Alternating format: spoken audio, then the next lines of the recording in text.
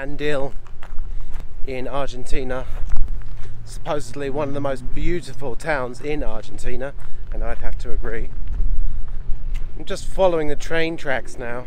If you've watched my other videos before, you'll know that I have a great affinity for trains and for train tracks. We visited the train cemetery in Bolivia and they gave me a nice rich sense of nostalgia.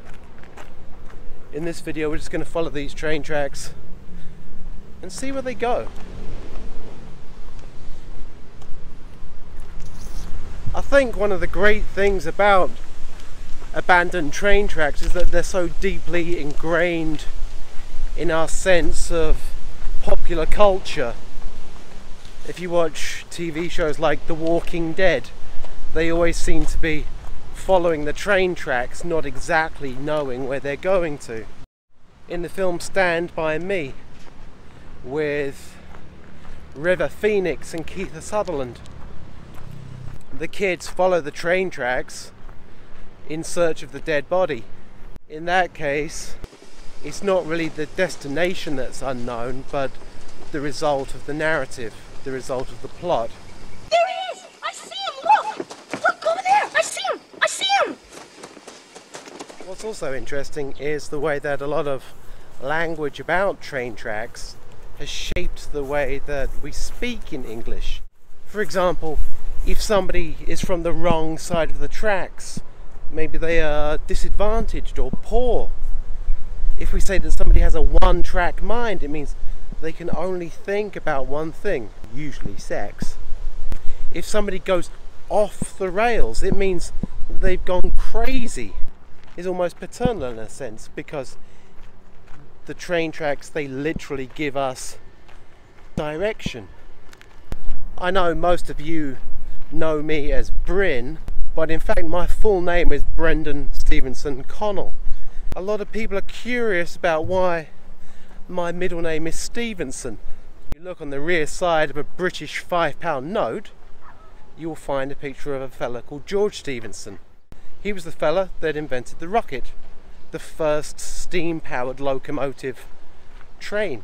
And if you believe my dad, he's some kind of distant ancestor of mine. Maybe the railroads are in my blood a little bit. The other funny thing is that there's actually a lot of reminders of home here. Hola. I'm in Argentina, on the other side of the planet from my homeland, and yet, through this infrastructure of railroads, a lot of which were built in England a long, long time ago, I get this sense of home. Maybe that's why I feel at home on the railroads. Maybe I should become a hobo. The littlest hobo. There's a voice that keeps on calling me down the road, that's where I'll always be. Every stop I make, I make a new friend. Can't stay for long, just turn around and I'm gone again. Maybe tomorrow I'll wanna settle down. Until tomorrow, I'll just keep moving on. So if you wanna join me for a while, just grab your hat and jump on board, that's hobo style. Maybe tomorrow I'll wanna settle down. Until tomorrow, I'll just keep moving on. Ba-dum, ba-dum, ba-da-dum, ba-da-dum, ba-dum, bum. I used to love that dog.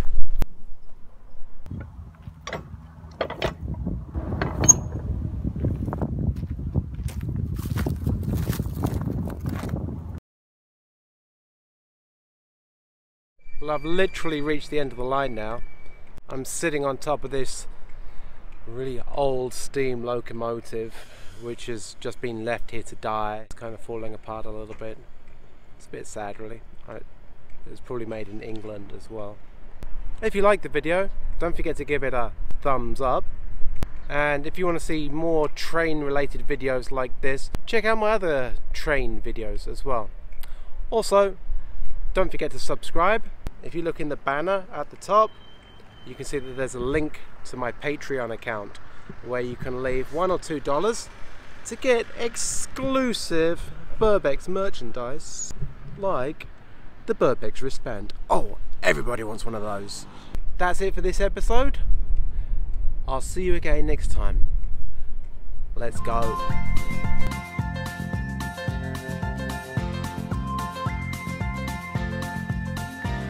There's a voice that keeps on calling me down the road. It's where I'll always be.